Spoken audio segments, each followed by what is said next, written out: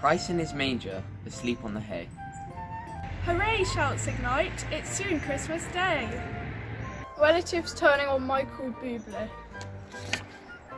Icing the cake and eating lots of food. Singing carols gets us all in the mood. Thinking of Jesus and our gratitude. Many people need to hear the good news. Are desperate for hope and faith, faith and peace. So let's share his love for others to choose.